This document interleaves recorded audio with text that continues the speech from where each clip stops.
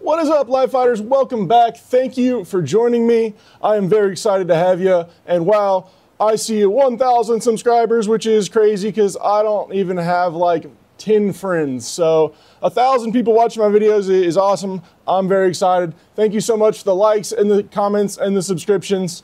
Um, everybody's been very, very cool. So rock on. Thank you so much. Um, today, I am bringing you something a little long awaited for me. I know none of you guys have been long awaiting it because who knows what I'm up to. Nobody's waiting for my shit. But um, I hope you're going to be as excited about it as me. We are going over the uh, specifically the Crossfire DZ rig and more specifically its integration with the Crossfire CF2 rucksack. So, as you guys know, I recently purchased uh, the Crossfire DZ rig right here. Um, it is fantastic. I like it a lot, but I actually really love my JJ's rig too, which is very similar. Why did I switch? Well, because I couldn't find a good backpack or high back rucksack solution that would fit with my JJ's rig. If I could show it to you, it's around here. It's, it's packed away right now. But um, the JJ's rig actually sits higher up on your back um, when you when you've got it uh, when you're wearing it comfortably. I guess it's just a taller platform, so that ends up bumping into your rucksack. Even if you have a what I consider to be a high back rucksack, like these uh, Crossfire or like a, maybe an Alice could be. Um, but anyways. These, uh, this DZ rig is specifically designed to integrate with a rucksack. Um, it was designed from the ground up to be worn with a rucksack. And due to the amount the light fighters are wearing rucksacks and patrolling in the field, I was like, shit, if I'm getting the backpack, might as well get the rig. We'll see how it goes. So how is it designed, you say, or I say? Um, well, it's got these little tabs right here on the side, and these fall just beneath uh, your armpits, kind of, um, where your ammo pouches are on the DZ rig. And these are little clip beaners that go to these specific tabs that are included, there you go, that are included with your DZ rig. You get two of these, and these are for rucksack integration. So the way it's designed is you take this little tab, you lock it in there, and then you take your rucksack and you thread this this panel, this side through an integration slot or a platform. I haven't found specifically where it goes, but um, to be honest with you, I'm not going to use it this way. I like using this little rucksack integration platform as a fanny pack integration platform because I love my fanny pack and I think it is invaluable. So I just take these little uh, rucksack clips as I've shown in my last video if you didn't see it. I just clip them on here with an old uh, one of these little webbing dominator things. It holds on there just fine. And then I clip it on both sides and I have an integrated fanny pack with my DZ rig. If you didn't watch my last video, um, they was shown in there, and that was pretty much that's the highlight of it. That's just one little niche way you guys can use your DZ rig. What we are talking about today, though, is the Crossfire, and specifically the Crossfire CF2 rucksack. So let me get it up on the table here for you. Now, oh, there it is in all of its glory. Now, um, I would say that this is one of the best designed rucksacks I've ever used. I was a holdout on getting Crossfire gear for a while because one, it is expensive, um, and two, I was trying out a lot of other stuff on the market and I just hadn't gotten around to this stuff. Um, a lot of the guys on our team had Crossfire gear and I was looking at these rucks and I said, damn, that looks well built. I want to give it a try. So um, I decided I had a little extra scratch and we spent the money and we got a Crossfire. This is the Crossfire CF2 rucksack. Let me slide it back so you can get a better image of it. I've got it loaded down with a simulated combat load, like a 24 hour load. And uh, we're going to go through that a little bit later. But what I want to talk to you real quick about is this CF2 has one add-on here. This is the helmet carrier add-on, and I've got my helmet stuffed in there. And it also has on the add-on lid. I don't believe the lid comes with the, uh, I'm going to get corrected. I'm going to get shit on in my comments if it does. But I don't believe the lid comes with the, the ruck. Or maybe it does. I'm confused because I buy so many of these things and sometimes these lids aren't included. I'm starting to think now that this lid is included. So I'll put a little pop up at the bottom, the lid's included or not. But either way, this is one of the best designed rucksack lids that I've ever used. Um, so we're gonna rip apart the contents later. I'm gonna show you how it works. But first things first, um, a little bit of a disclaimer. I don't have a lot of hours using this rucksack. Still, every morning I wake up and I go walk with my Eberlestock uh, F1 pack, which is right here. And I've got it, you can see it side by side, I've got it weighted down to about 65 pounds. I'm on the wrong side of the camera. Whee! I've got it weighted down to about 65 pounds, but you can see that this is just a much taller platform than the uh, than the uh, Crossfire CF2. And this lid is actually drooping really bad because I really don't have much in this ruck. Disclaimer, this is a 55 liter ruck and I believe this is like a 35, 37 liter rucksack, but the 55 liter ness comes all in this roll top right here, which I'm not using any of right now.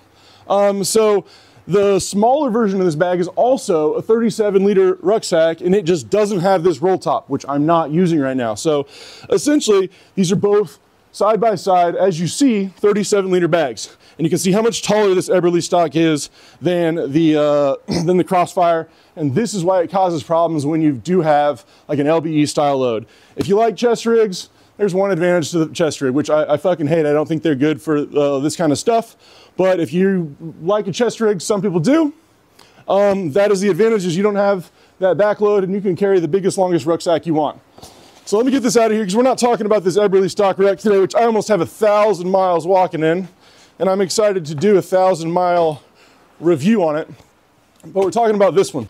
So this is the Crossfire CF2 rucksack. Again, it's got uh, the helmet, uh, the, the helmet carrier add-on and uh, the lid on top of it. Again, great design. And towards the back here, you'll notice that this is labeled Crossfire CF3. Well, that is because all of their newer design rucksacks are using their CF3 harness system, okay? So you didn't get the wrong ruck, and I'm not telling you wrong. I did think I got the wrong one for a second, but then I had to look on their website. But they're included, this is the CF3 harness system. So this is just a, an improved harness system. Um, so back to full disclaimer, I don't have a lot of miles uh, in this rucksack. I've used it for basically, I've thrown it over my shoulder for a few minutes, walking between the car and the parking lot for, for a few LARP missions and a few weekend warrior sessions. But um, I have not really fully integrated the rucksack with the DZ rig all together for a nice long ruck. So I'm going to do that right now, and then I will be able to give you a good first impressions of how this carries. So uh, bear with me here. I'm gonna start putting this shit on. I am wearing my PT gear. It is like 90 degrees in the Midwest today. Bear with me. I'm wearing uh, Go Fasters and skivvy shorts, but uh, I know I'm saying this is gonna be a combat load. I do have uh, ammunition and uh, practical uh, weights in these, in these two rigs. So real quick, let me go ahead and weigh them real fast. I got shit on last time for using kilograms. I don't know how to change it. Oh, unit. And let's see how much this thing's weighing in at right here. It's off and it's right at 50 pounds. That is perfect. So I got a 50 pound rucksack. I got water, ammunition, and we're gonna go through what's in there here at the end. And I'll talk about my first impressions with how this integrates with the DZ rig. And then finally, I'll also obviously be wearing the DZ rig and my fanny pack. Let's give it away. And we're coming in at a smooth little, ooh, just a little 11 pounds right there. So that's, that's your combat load. And uh, I'll show you what I've got in there. I've got a good amount of ammo, water, and uh, two little grenade simulators. Why not? So that's all you really need, and a radio. Well, you should have. And as I put this thing on, you kind of see I scooped it up with like kind of the shelf, if you will, of my DZ rig. And right now, 100% of my weight of this rucksack is on my DZ rig, which is basically, you know, transferred to my shoulders. But all I have to do is tighten this, tighten this belt with a pull, and now I've got some good hip load support. So when you're wearing a rucksack integrated with your combat gear, you don't want it to be crazy tight, but you need it to be, you need to stay on you. So yeah, I've got two sets of shoulder straps. I feel a little whopper jaw. That's probably because I got that 30, 40 mike mike sim. And then I also like using the breast strap and I'm gonna have to go under my mic clip. What'll actually probably happen so I'll pull this mic off. Oh, and I'm definitely gonna have to lose this mic. All right, so feels pretty good. Feels a little heavy, but uh, honestly, I don't feel any pressure points. I would say I'm pretty much, I'm 60-40. I'd normally go like 80-20, but I'm about 60-40 into the shoulders in my weight distribution right now. The rucksack looks like so, sitting on top of the DZ rig. Again, I'm not using the integration that is designed with, and I don't even have this rucksack buttoned on the bottom. And I'm gonna do this six miler to figure out if I like it better with it buckled or not. We might not like it. I'm gonna go, I'm gonna start with no. Right now this feels pretty good. So, rock on is uh, about 85, 90 degrees. I'm gonna go punch out six miles, be about two hours, and I'll see you back here and we'll talk through these first impressions.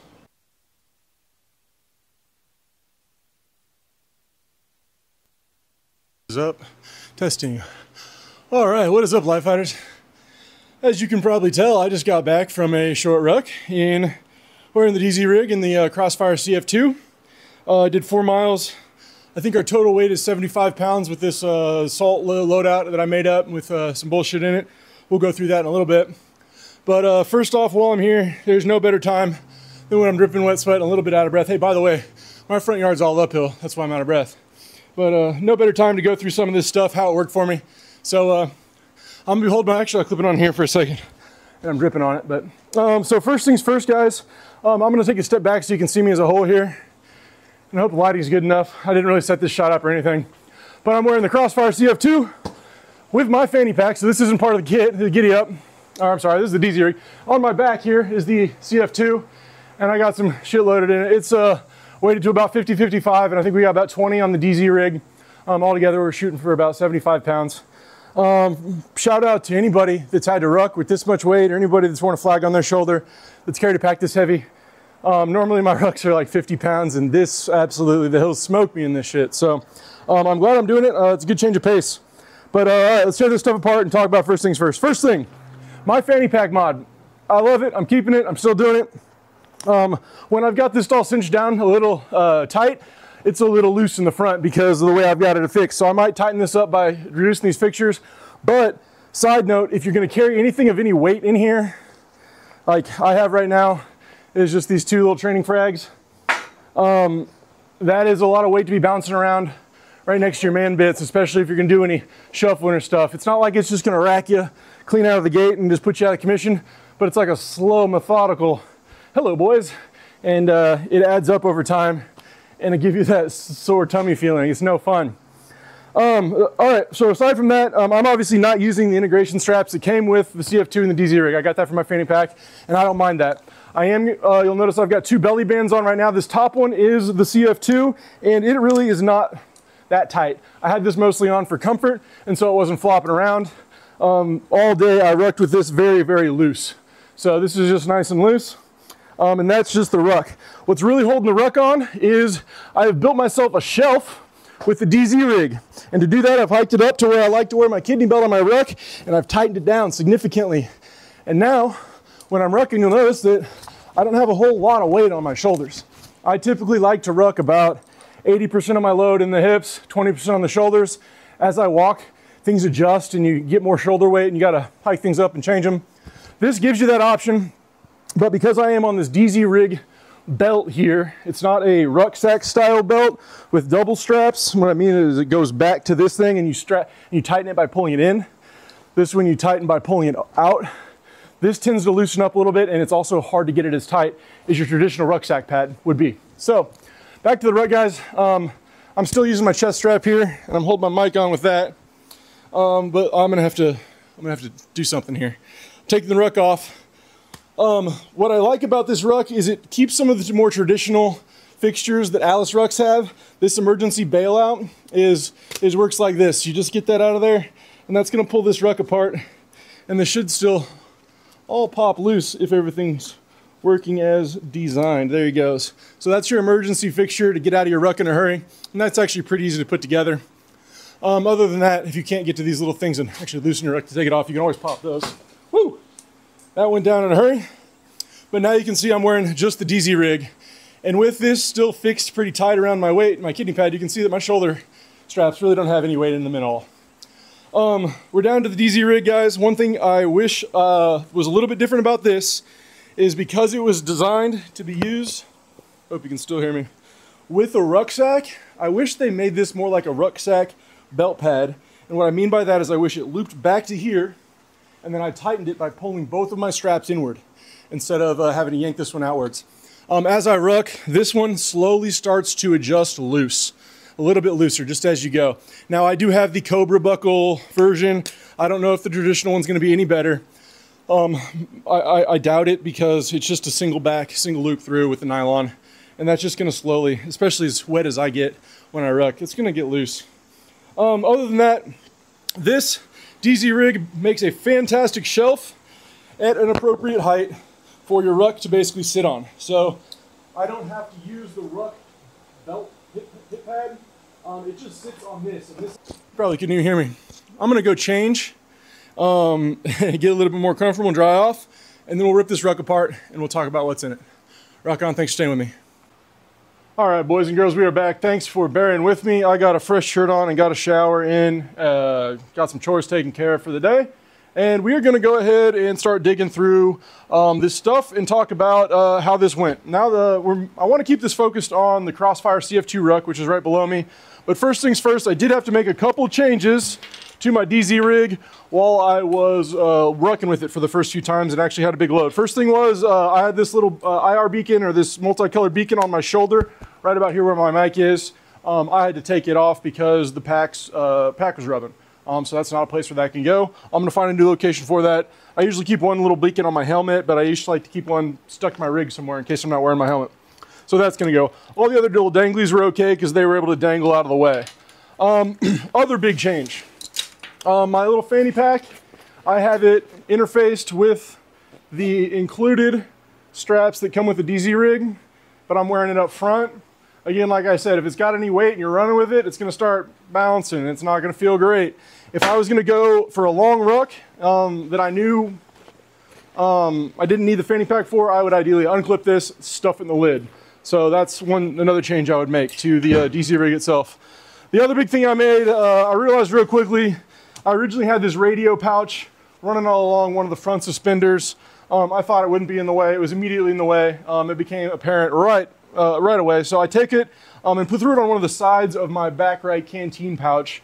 And then I just clipped this little speaker mic on one of the tops out of the way. Obviously didn't need to get to any of that stuff on my ruck. I wasn't talking to anybody.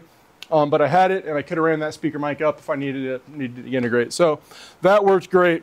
Um, those are the main changes to this. Again, this is about 22 pounds of equipment. This is a kind of assault loadout. Um, it's just ammo and water. We're gonna talk about what's in this um, later because I don't wanna make this video too much about that assault kit or uh, uh, what's in the, uh, the DZ rig, I'm sorry.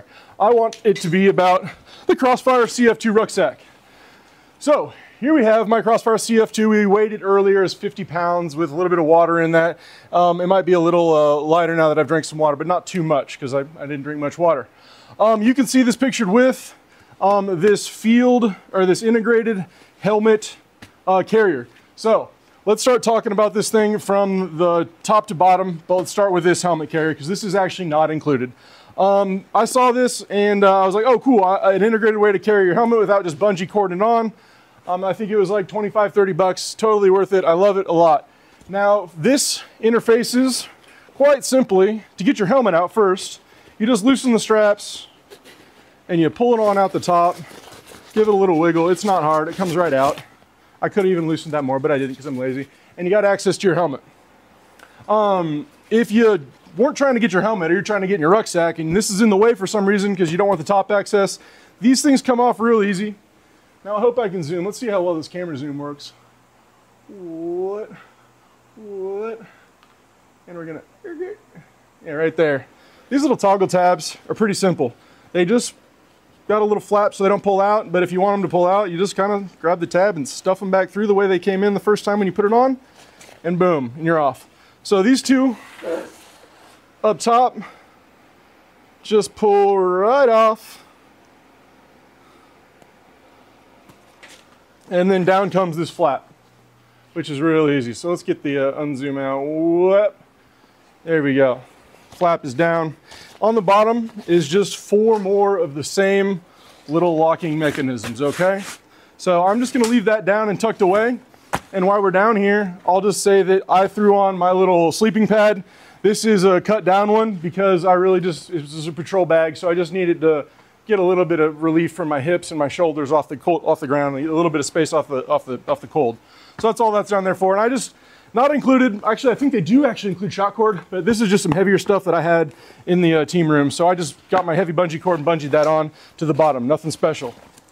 You know, though, we're going over the ruck, might as well look at what, they, what they've got for you. You've got down here a nice heavy duty drag handle and then four of these links, which are designed for shock cord, believe you me.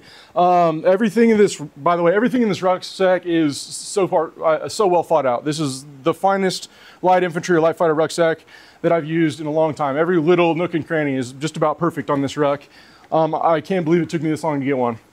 But on the bottom, you've got a carry handle, which is great. You've got heavy duty stitch. These are like just bomb proof stitching, um, little lat systems or bungee cord system. Also, while we're down here, you notice you got a bottom zipper on your, your main, you, so you can access the bottom of your ruck. So if you stuffed your socks in there like an idiot like me, all the way in the bottom and you want to change the socks, you can still get to them. Um, again, the integration system with the actual frame here, let's boost her up, is more of these, this tab system.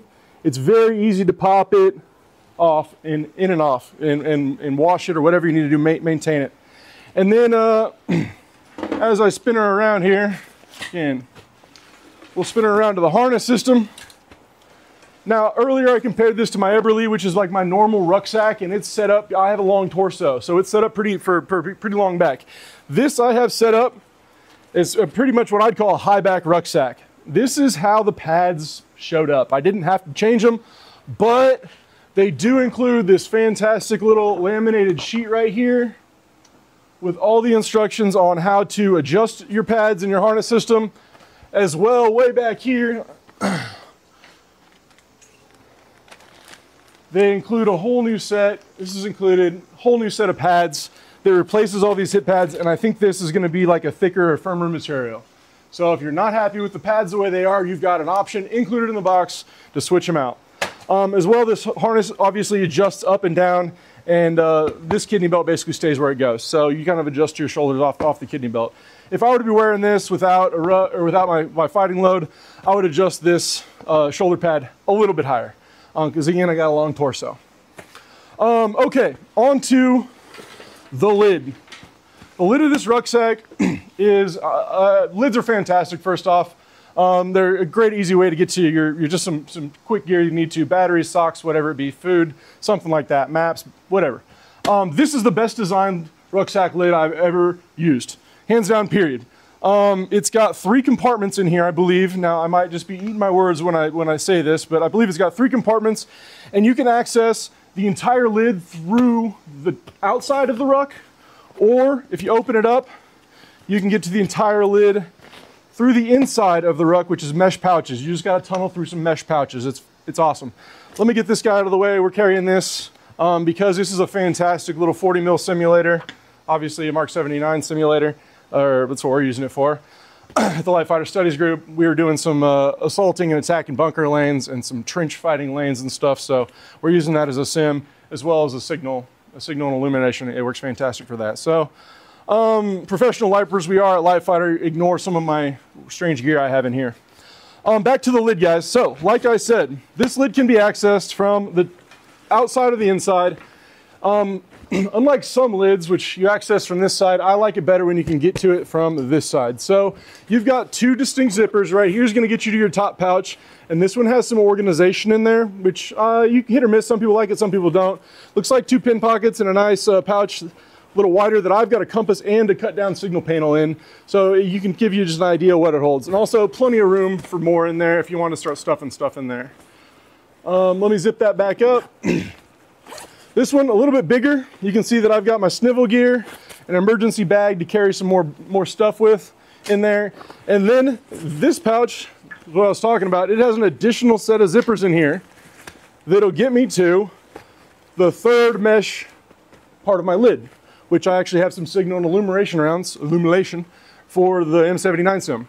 Um, likewise, like I said, flip it open, and this first pouch is my signal and illumination rounds. And if I go tunneling through the next zipper, granted it doesn't, it's not designed to be open like this. Hey, Crossfire, maybe make this zipper a two-way. Probably not critical, but you could dig in there. You get in through this side. I don't know why you would, because you could just flip the lid, but Maybe Crossfire's overthought about that already. Probably not a good idea. Anyways, the lid is still uh, fantastic.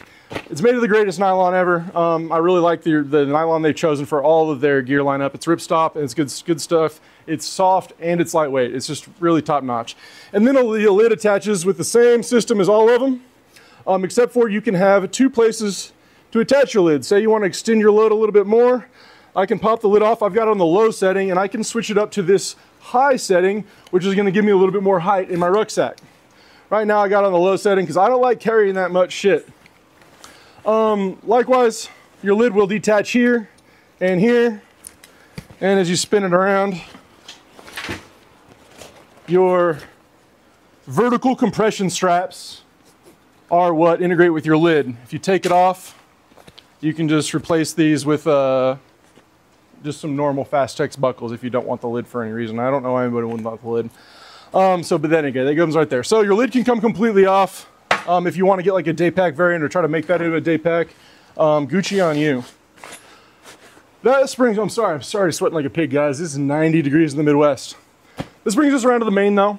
Um, again, on top, huge, heavy duty drag handle, and then a zippered pouch that gets us right into our main compartment. So whether you want to go through the zipper for some fast access or you want to get to your water, which is just right in there, it's just another zippered quick access into your main in case you won't want to deal with the drawstring.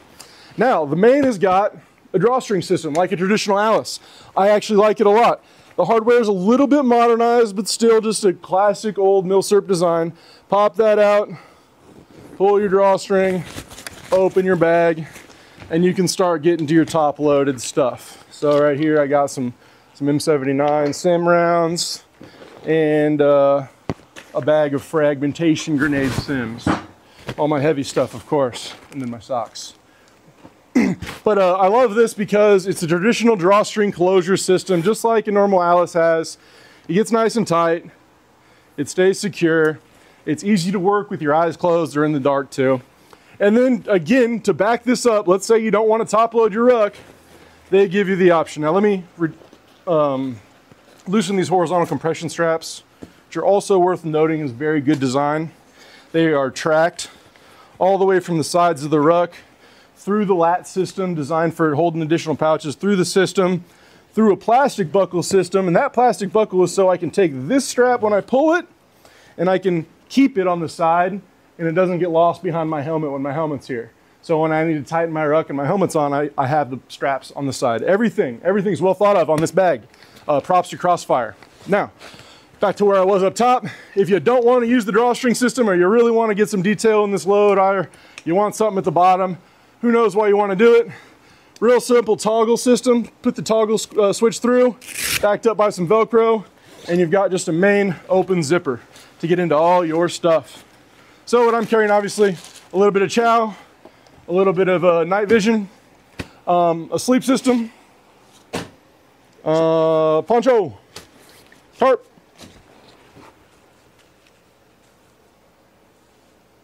The fuck is this?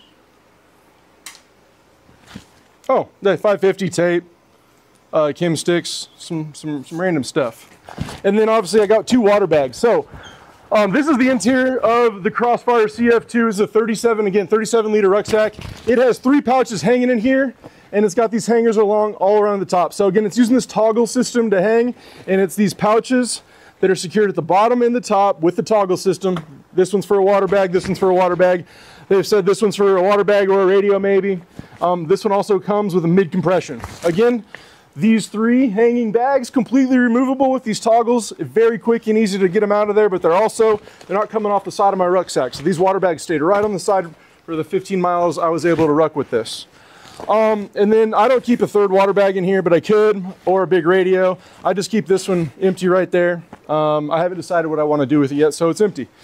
But uh, super well designed rucksack. Again, it's front loading or side loading, and if you need just in the bottom, you can just zip in the bottom and get in your get in the stuff you got bottom loaded. All right.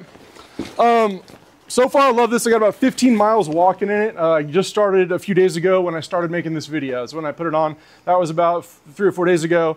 I've been doing my morning four miles, five miles, whatever they end up being. Um, with this, um, the weight has been crushing me. Holy shit! along with the Midwestern heat, but uh, I love this ruck. It is very comfortable, and it is comfortable when it's integrated with combat gear. Um, it feels no really worse, um, just heavier because it is, than my morning rucksack, uh, my Eberlestock with the F1 mainframe, which is, which is a fantastic designed ruck for a lot of weight. Um, guys, this is the Crossfire CF2. Uh, I covered most of the things I think I wanted to cover on this rucksack specifically. Um, the frame is like a traditional plastic uh, MOLLE, I guess, frame. Uh, it's designed to flex. I haven't had any complaints about it. I haven't really abused the shit out of this one yet, so I can't tell you to its durability. I can't speak to that. But so far, it's been fantastic. No complaints. It's been a really um, a feature-rich backpack. All the little nuanced things you sometimes add to your own rucksack, they've already done. Um, the stitching is absolutely biggity bomb-proof. Um, the cloth is a great choice. Um, and they've been really nice people to deal with, and they're fucking Australian, Aussie, Aussie, Aussie.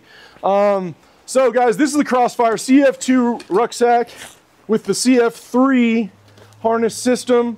I hope this has been a little bit of an updated review so you guys can see me dig through this bag. Um, and hopefully I can get some more Crossfire bags in here. I got a lot of other guys with bigger ones um, that are on our team, and we can dig through those and see, what, see what's what. So uh, I know this has been a marathon of a video, guys. Those of you guys that made it to the end, you fucking rock like and subscribe. I appreciate you all so much. Thank you guys. Have a good one.